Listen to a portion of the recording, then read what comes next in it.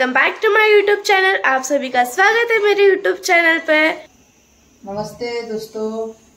आज हम जा रही हूँ चावल डालने इडली के फूलने के लिए। सवा किलो चावल और चार सौ ग्राम उड़द दाल। इसको धो के अच्छी तरह से रख दूँगी फूलने के लिए। इसको भी रख दूँगी धो के फूलने के लिए। फिर ये फूल जाएगा तो फिर इसको पीस के रख दूँगी। दो दिन पहले, एक ठंडी के टाइम है तो दो दिन मतलब रात में भिगाया तो सुबह पीस के रख दो, फिर दूसरे दिन सुबह में बनाओ। और गर्मी के टाइम में भी ऐसी है रात में रख दो, भिगा दो, और सुबह का टाइम में जल्दी पीस के जल्दी रख दो। गर्मी में क्या होता है कि थोड़ा लेट भी पीसते हैं तो चलता है, लेकिन ठंडी में नहीं होता है। इससे पूरा वो होता है ना, झाक आ जाता है आपस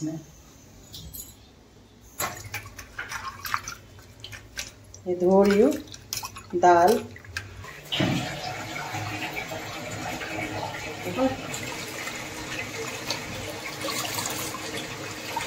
चावल धो रही हूँ एक मिनट।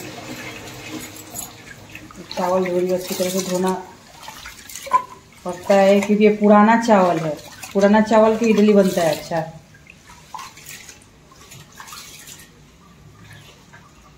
दूसरा कोई भी चावल डालेंगे तो अच्छा बनेगा ही नहीं।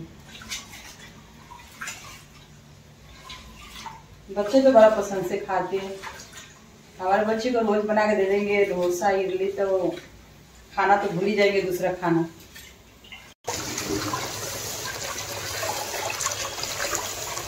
धो के दोस्तों चावल, इस पानी में डाल दिए खोलने के लिए।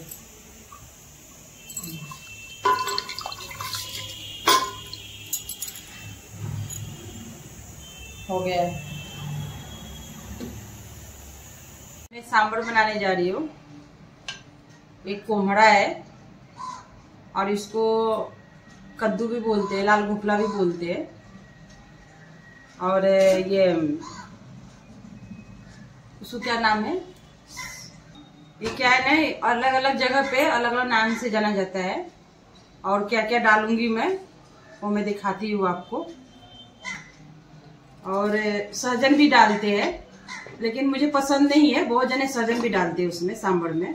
और बाकी क्या क्या डालूँगी सांबर में, वो मैं आपको बताती हूँ।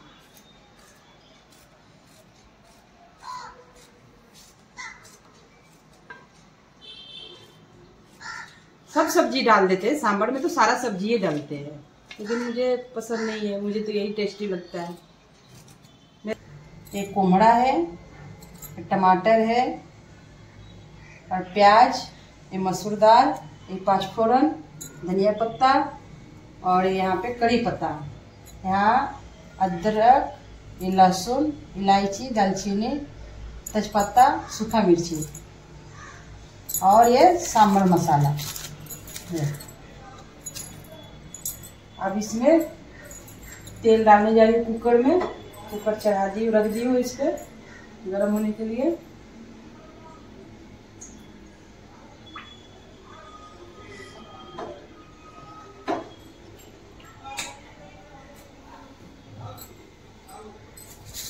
दाल धो लेती हूँ।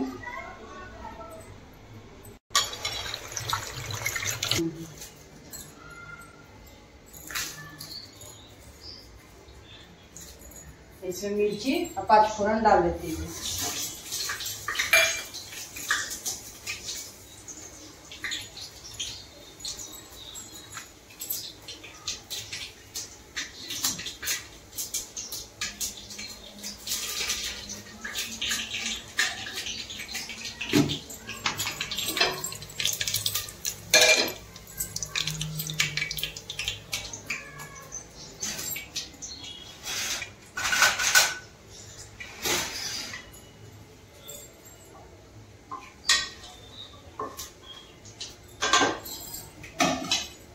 इसमें लहसुन डाल दूँ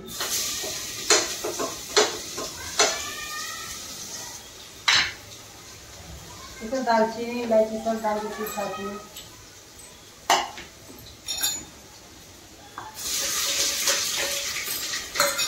इसमें मैं हरी मिर्ची नहीं डाली हूँ हरी मिर्ची क्योंकि लाल मिर्ची का पाउडर डाल दूँगी तो कलर भी अच्छा आता है और टेस्टी भी लगता है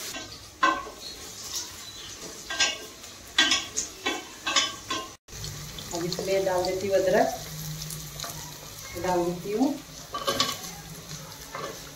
कुम्हरा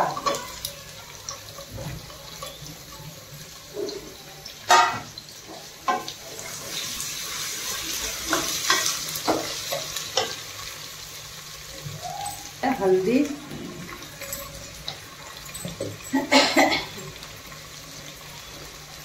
इसमें लाल मिर्ची पाउडर। नमक। इडली में भी नमक रहेगा। तो इसमें थोड़ा हिसाब से नमक मैं डालूँगी। इसमें टमाटर डाल दे रही हूँ। इसमें दाल भी डाल दे रही हूँ। इसके साथ पाँच मिनट फ्राई करूँगी। फिर पानी डालूँगी। फिर जो पैकेट था मसाला का सांबर मसाला, वो डाल रही हूँ। दूसरा मसाला नहीं डालते हैं बस मिर्ची पाउडर और हल्दी और ये वाला मसाला सांबर मसाला।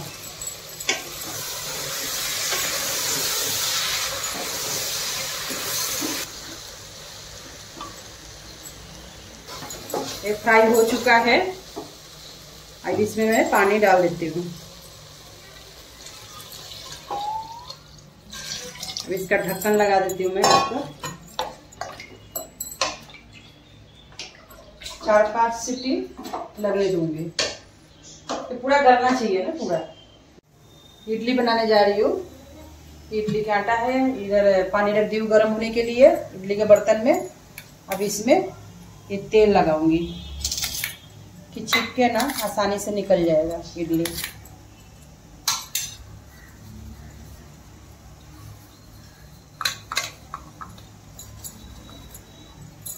अब इसमें आटा डालूँगी, एक एक चम्मच। एक एक चम्मच आटा डालूँगी।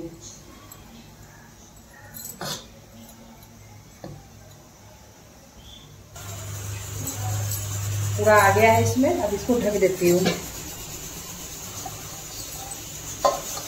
मिनट रखूँगी इसको। इधर सामान बन रहा है, इधर इडली बन रहा है। सारा इडली मतलब इडली पक गया है। हम सारा इडली को ऐसे करके निकाल लेंगे। और फिर से इसमें तेल लगाएँगे और फिर रखेंगे इस पर गैस पे। ये नारियल निकाल ली हूँ। अब ऊपर का छिलका, ऊपर का ही अंदर के हुआ ये छिलका। ऊपर का निकाल ली हूँ। अब इसको हो गया है पूरा निकाल के। अब इसको चल रही हूँ चटनी पीसने।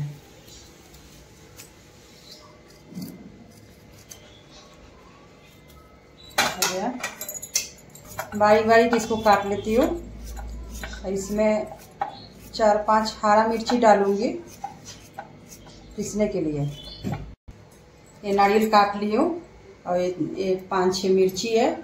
अब इसको इसमें डाल के नमक डाल के पीस लेती हूँ। नारियल पीस ली हूँ।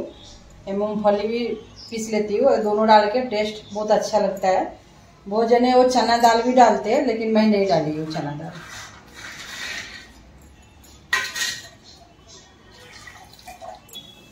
इधर तड़का मार रही हूँ।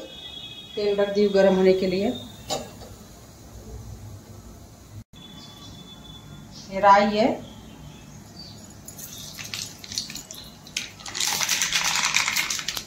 इसमें लहसुन डाल देती हूँ। डाल देती हूँ। चटनी में तड़का मार देती हूँ।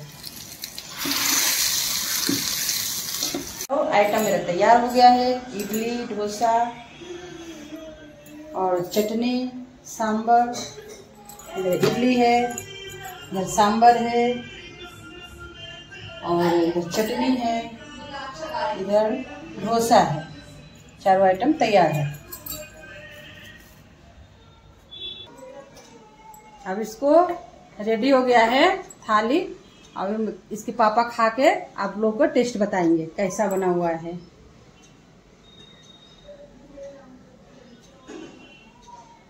चलिए खा के बताइए कैसा टेस्ट है? तो पापा जी अभी ये डोसा खा रहे हैं। इतना सारा नहीं खाएँगे? हाँ हाँ वो अभी मैं भी खाऊँगी उसमें मम्मी भी खाएगी। कैसा लग रहा है मुझे चटनी एक नंबर है। अभी खाऊँगा सांभर।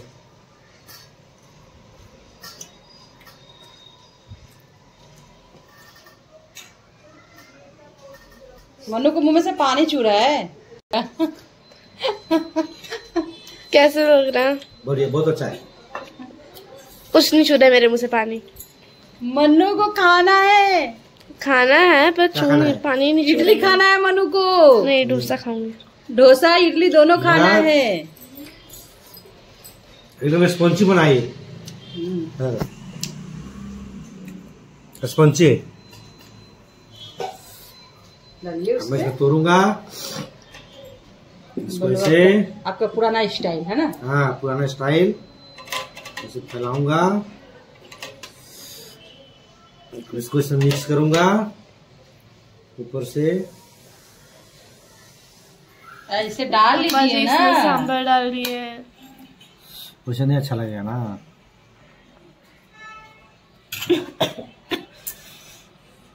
अब इसमें चटनी भी डाल दी है अब खा ले चाहे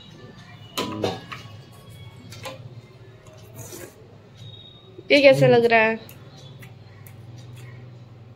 एक नंबर एक नंबर। मेरा इनाम? सौ में सौ परसेंट। मैं बनाई हूँ मेरा इनाम। मैं टेस्टी बनाई हूँ ना। हाँ? कुछ तो बोलिए। मिलेगा।